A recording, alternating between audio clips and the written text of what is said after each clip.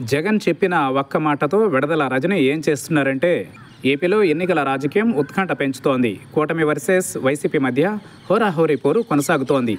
పలు నియోజకవర్గాలలో గెలుపుపైన రాష్ట్ర వ్యాప్తంగా ఆసక్తి కనిపిస్తోంది. గుంటూరు పశ్చిమ నియోజకవర్గం నుంచి వైసీపీ అభ్యర్థిగా విడదల రజని పోటీ చేస్తున్నారు. టీడీపీ నుంచి కొత్త అభ్యర్థి మాధవి బరిలోకి దిగారు. అయితే అక్కడ గెలుపు గురించి సీఎం జగన్ ప్రత్యేకంగా రజనీకి దిశానిర్దేశం చేశారు. రజని ఈ విషయంలో ముఖ్యమంత్రికి స్పష్టమైన హామీ ఇచ్చారు. గుంటూరు పశ్చిమంలో ఎన్నికల పోరు రసవత్రంగా మారుతోంది. ఇద్దరు మహిళా నేతలు పోటీ పడుతున్నారు. పూర్తిగా అర్బన్ ప్రాంతం కావడంతో తమకు కలిసి వస్తుందని కూటమి నేతలు అంచనా వేస్తున్నారు. అనూహ్యంగా జగన్ రెండు వేల ఇరవై నాలుగులో బీసీ మహిళగా మంత్రి విడదల రజనీకి గుంటూరు పశ్చిమం సీటు కేటాయించారు. దాదాపు మూడు నెలలుగా రజని ప్రచారం చేస్తున్నారు. టీడీపీలో అనేక తర్జన భర్జనల తర్వాత గల్లా మాధవికి సీటు ఖరారు చేశారు. కొత్త అభ్యర్థి కావడం అప్పటికే టీడీపీ జనసేన నుంచి సీటు కోసం ఆశలు పెట్టుకునేవారు రేసులో ఉండడంతో మాధవికి సహకారం అందడం లేదు. రజని తన ప్రచారంలో దూసుకు వెళుతున్నారు.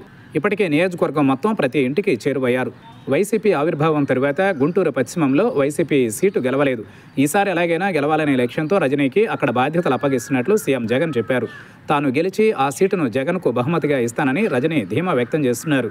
స్థానికంగా కూటమిలో నెలకొన్న సమన్వయ లేమి వైసీపీ సంక్షేమం రజనీ వ్యూహాత్మక ప్రచారం కలిసి వచ్చే అంశాలుగా ఉన్నాయి.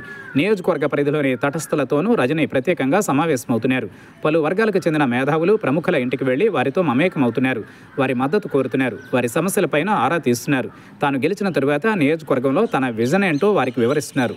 సామాజిక సమీకరణాలు సైతం రజనీకి అనుకూలంగా కనిపిస్తున్నాయి. నియోజకవర్గంలో మెజారిటీ ప్రజలకు ప్రభుత్వం నుంచి సంక్షేమం అందుతోంది. నియోజకవర్గంలో సుదీర్ఘకాలంగా పెండింగ్లో ఉన్న సమస్యల పరిష్కారానికి రజనీ కాలపరిమితితో హామీలు ఇస్తున్నారు. అదే సమయంలో అన్ని వర్గాలతోనూ మమేకమవుతున్నారు.